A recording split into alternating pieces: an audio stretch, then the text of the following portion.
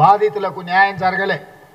కేవలం ప్రభుత్వంలో ఉన్న పెద్దల్ని కాపాడడానికి సిట్టును ఒక ముసుగుగా వాడుకున్నది రాష్ట్ర ప్రభుత్వం చంద్రశేఖరరావు గారి నాయకత్వంలో తప్ప నేరగాళ్ళను శిక్షించే ప్రయత్నం చేయలే.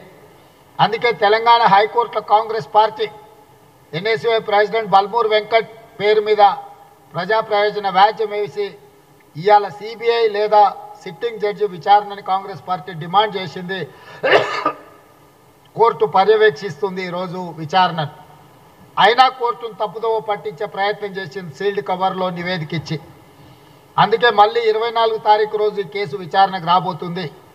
వీటన్నిటి నేపథ్యంలో ఇంటికో ఉద్యోగం ఇస్తా అని ఊరికో ఉద్యోగం కూడా ఇవ్వక నాలుగు కోట్ల తెలంగాణ ప్రజల్ని చంద్రశేఖరరావు మోసం చేశాడు ప్రతి సంవత్సరం రెండు కోట్ల ఉద్యోగాలు ఇస్తా అని చెప్పిన నరేంద్ర మోడీ ఈ పది సంవత్సరాలలో ఇరవై కోట్ల ఉద్యోగాలు ఇవ్వాల్సిన బాధ్యత ఉండే.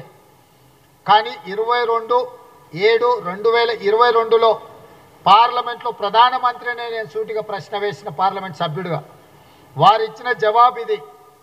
వారిచ్చిన జవాబులో రెండు వేల పద్నాలుగు నుంచి రెండు వేల ఇరవై రెండు వరకు కేంద్ర ప్రభుత్వంలో ఉద్యోగ అవకాశాల కోసం అప్లికేషన్లు ఎంతమంది పెట్టుకున్నారంటే ఇరవై రెండు కోట్ల ఐదు లక్షల తొంభై తొమ్మిది వేల రెండు వందల ముప్పై ఎనిమిది మంది.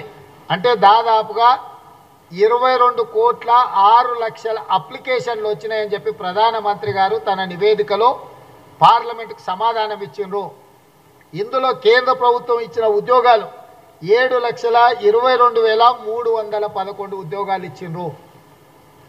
ఇరవై రెండు కోట్ల ఆరు లక్షల అప్లికేషన్లు వస్తే ఏడు లక్షల ఇరవై రెండు వేల మూడు వందల పదకొండు ఉద్యోగాలు ఇచ్చినవని ప్రధానమంత్రి గారు స్వయంగా. నా ప్రశ్నకే మొన్న జూలైలో నాకు సమాధానం ఇచ్చిండ్రు. అంటే స్పష్టంగా నరేంద్ర మోడీ గారు ఎన్నికలలో ప్రతి సంవత్సరం రెండు కోట్ల ఉద్యోగాలు ఇస్తామని చెప్పి నూట నలభై కోట్ల దేశ ప్రజల్ని మోసం చేసిందని స్పష్టంగా పార్లమెంటులోనే ప్రధానమంత్రి గారు ఒప్పుకున్నారు.